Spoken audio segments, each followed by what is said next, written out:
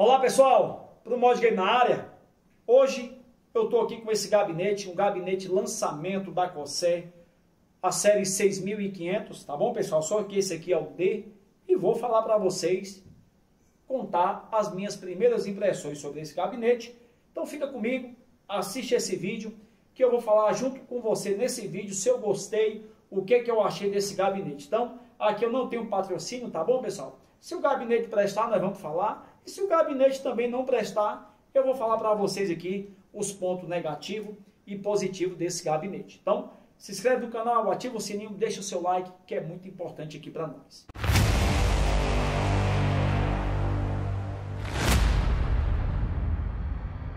Então tá aqui, galerinha, gabinetinho, bora ver ele, né? Gente, é, eu só tirei ele aqui da caixinha, tá, galera? Eu só tirei ele aqui da caixa porque é pesado, é 15 quilos esse gabinete. Né? Ele não vem com nada lá dentro da caixa. Então vamos tirar aqui o plástico para vocês verem. Literalmente, pessoal, é as primeiras impressões. Eu não vi ainda esse gabinete. Né? Acabei de tirar aqui, chegou para mim nesse exato momento. Já estou agoniado para montar ele. Então tá aqui, pessoal, ó. Lateralzinha dele, gente, é pesado. Até para girar aqui é pesado. Lateralzinha dele aqui, ó.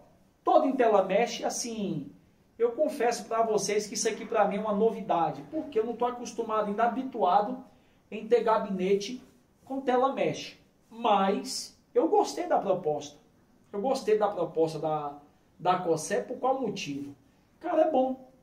É bom porque vai, né, vai ficar mais assim, digamos, vai ter um, um sistema de refrigeração melhor. A iFlow é para os americanos, para nós aqui é sistema de refrigeração, é, é a ventilação do gabinete, tá bom, pessoal? Nada contra, mas assim, eu fico em pau da vida porque os americanos, eles, eles esculacham nós que é brasileiro, né? Então, eu não puxo o saco de americano de jeito nenhum. Tá, galerinha? Então, bora aqui para vocês verem. Então, aqui, eu gostei sim da proposta, da tela mexe aqui, vazadinha, furado. Um fator ruim é que vai sujar bastante, não é verdade? Então, vira e mexe, você vai ter que estar tá passando um pincelzinho, ou lavando, ou então passando um paninho mais, para mim, o melhor vai ser pegar um pincel, um sabãozinho neutro e vira e mexe você tá lavando aqui porque vai sujar sim, tá galera? Vai sujar de fato. Então, bora aqui, bora ver aqui a frentezinha dele para vocês verem. É pesado, galera. Telazinha aqui à frente, pessoal, ó, todo em mesh. Cara, é, eu peguei esse gabinete, eu pensei, eu vou falar a verdade para vocês, eu, eu pensei que isso aqui ia ser uma porqueira. Eu pensei que isso aqui ia ser uma porqueira. Tá, pessoal? Mas me, me agradou. Eu não imaginava que ia ter essa qualidade não. A chapa aqui, ó, os aços, e você vê aqui, tem uma textura muito boa, uma qualidade muito boa mesmo, tá bom? Tem a logozinha aqui, pessoal, né? Da Cossé. É, tampãozinho de vidro aqui, você é para abrir ele, eu tô vendo aqui, ó, você tem que botar o dedozinho aqui embaixo e puxar. Né? Sistema de portinha bacana. Bacana até mesmo melhor para você não ficar botando o dedão aqui no, nos vidros. Eu acho que a maioria dos gabinetes deveria vir assim, tá bom? Então, até aqui, bacana. Já já vou falar para vocês aqui o tamanho e o comprimento dele. Gente, esse sistema de pezinho aqui, ó, da Cossé, eu achei show de bola, tá, galera? Show de bola. Vamos ver aqui a parte traseira dele aqui. Tá aqui, ele tem um, dois, três, quatro, cinco, seis, sete, oito slots oito slots, pessoal, aqui, ó, para a gente colocar a placa de vídeo. Aqui fica, claro, né, o dual chamber aqui no gabinete, para a gente colocar a fonte aqui, os cabos passando para lá. Outra coisa, pessoal, já é compatível com as novas placas mãe, tá bom, gente? Com os conectores voltados para trás. Ele tem aqui, pessoal, ó, isso aqui é o HD, não é verdade, ó? Para você botar o HD. Olha aqui, gente, ó, bacana.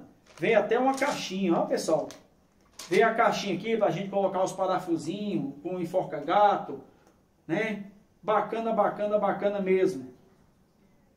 Gostei, tá pessoal? Duas aqui, ó, para a gente colocar o HD mesmo, né? Daqui a pouco eu volto isso aqui para a gente não perder tempo, tá bom? Então tá aqui, pessoal, para poder tirar aqui, ó, o tampão lateral, bora ver, tem um parafusinho aqui, ó. Então tá aqui, gente, desparafusei, bora ver como é que é, ó.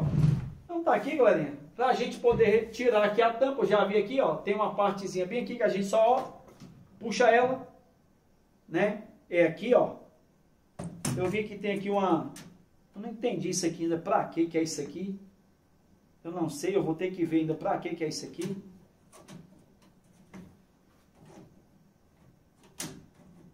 Vou ter que ver, não, não sei ainda, tá pessoal? Não sei pra que que é. Ó aqui, gente, ó. A, a telinha, né? Com filtro anti-poeira. Não sei se esse filtro anti-poeira vai ser bom ou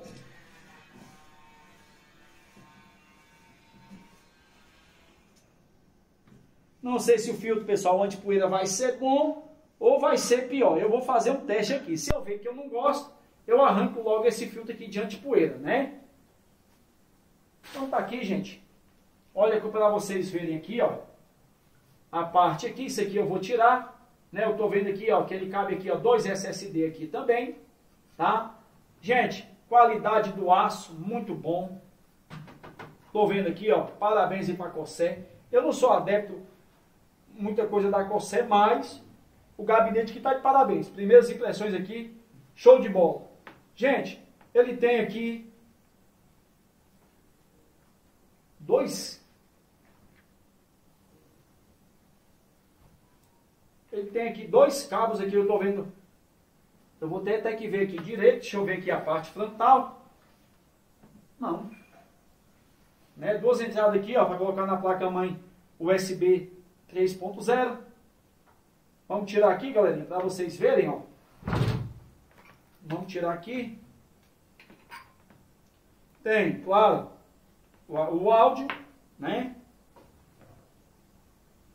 Tem a entradinha USB do tipo C, USB tipo C, e tem aqui o, o painel frontal. Melhor ainda, pessoal, ó, só é um conectorzinho, você coloca lá, muitas pessoas apanham isso aí. Então, é isso aqui. Tem as borrachinhas, tá, galerinha? Tem as borrachinhas aqui, ó, pra gente poder estar tá passando os cabos. Gente, impressão, gostei muito, poder mais dar conta. Bora lá. Já já vou falar para vocês o tamanho dele. Aqui, gente. Então, bora aqui. Puxou, dei conta. Gente, ponto positivo. Gabinete, a Cossé não podia também deixar de fazer isso num gabinete como esse, né? entre aspas, de mid-end para cima esse gabinete, né? Ou já vou intitular até como high-end também. Os slots aqui são removíveis, você vai poder colocar a placa de vídeo na vertical. Isso é o mínimo né, que teria que acontecer. Ele aceita aqui, pessoal, uma fan de 120 a 140 milímetros. E aqui em cima, eu estou vendo que aceita fãs aqui, pessoal, de 120 milímetros.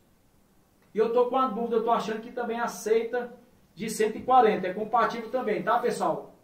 Com 140. Mas eu preciso ver aqui ainda, tá? Isso aqui é as primeiras impressões. Eu vou montar e vou trazer esse gabinete para vocês aqui pro canal.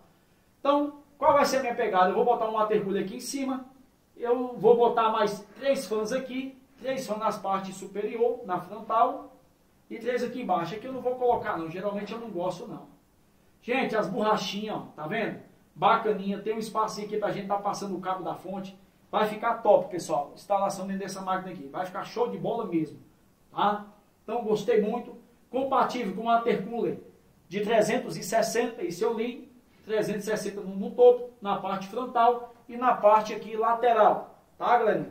Você pode colocar o watercooler até 360. Ele não, é, não é compatível com 300 e com 420, tá bom? Não é. Mas Modo, o que, que você achou? Num contexto, num conjunto geral. Bacana poder mais dar conta. Gostei. Ele tem aqui, galerinha, deixa eu descer aqui para vocês verem aqui na manha. Que o bicho é pesado. Olha aqui, galerinha. Botão Power, botão USB tipo C. Nós temos uma quatro entrada do USB 3.2 geração 1. Nós temos o botão reset e o botão aqui, pessoal, de microfone. Tá bom, galerinha? Vamos tirar aqui, ó, para vocês verem, ó. Ele tira a frente, eu posso colocar aqui mais as fãs também, tá vendo? Eu não sei, eu vou tentar, mas não vai dar para sair aqui não. Por mim eu ia tirar isso aqui, eu não gostei não. Então é, questão de costume, né, galerinha? Eu não tô, eu não tô habituado, mas bora lá. E tira aqui também a parte de cima, as telas mesh, gente. Olha como é que fica aí para vocês verem, ó. tá? Fica assim, galera. Muito bem feito, material, acabamento. Eu gostei muito. Agora, embora aqui. Embora pro pecado desse gabinete agora aqui, que aqui eu vou falar para vocês. E é uma coisa que, que me chateia muito, me chateou muito nesse gabinete. Olha aqui, galerinha. O que me chateou muito nesse gabinete aqui é não ter um suportezinho aqui para quê? Isso aqui algumas pessoas que não entendem, que é leigo, vai achar que isso é besteira, mas não é. Tá? Agora, para a gente que é entusiasta, que já conhece bastante de gabinete, eu já tive os gabinetes que vocês pensarem, eu já tive uma grande maioria, pessoal, aqui. Tá? Tem até no canal. O gabinete mais top que eu já tive na minha vida foi o Cosmo C700M. Para mim, o melhor do mundo aquele gabinete até o momento.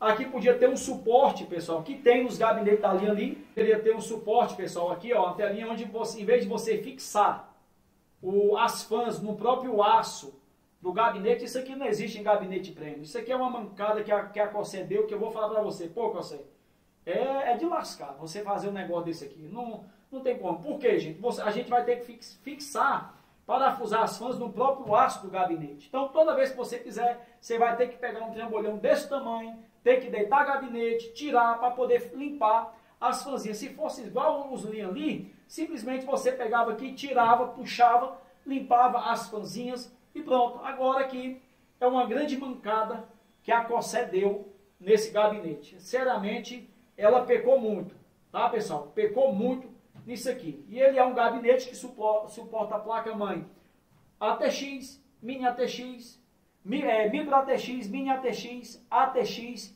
e EATX, tá pessoal? Então, é um gabinete muito completo. Mas eu vou falar para vocês, com toda honestidade, pecou muito no quesito que eu estou falando para vocês aqui de ter que fixar a fãzinha no próprio aço do gabinete, pessoal. Gabinete, gente, prêmio, não existe isso. Isso aqui é uma mancada. É uma mancada. Todas as marcas que têm gabinete prêmio, a gente vê que elas fazem isso. Principalmente a linha ali. E aqui também tem né, a telinha para é, o filtrozinho de antipoeira, tá, pessoal? Cara, agora o que eu achei bacana, pessoal, mesmo, foi esses pezinhos aqui, ó. Muito top. Qualidade dos pezinhos, a borrachinha aqui, gente, ó. Muito top, gostei do material. Simplesmente sensacional. Se não fosse isso aqui, eu vou dizer para vocês que iria brigar com os gabinetes da ali. Tá, galera? Bora ver aqui o tamanho dele, tá, gente? Bora ver a sua espessura. Bora ver aqui a espessura deles para vocês verem. A altura, né? Bora aqui, pessoal, ó. Espessura dele, ele tem 32.4 32.4 centímetros. A sua altura, pessoal, é de 49 centímetros e o seu, e o seu comprimento é de 46.6 milímetros. Tá? Então, assim, gente, é um gabinete Gostei dele. Gostei muito desse gabinetinho.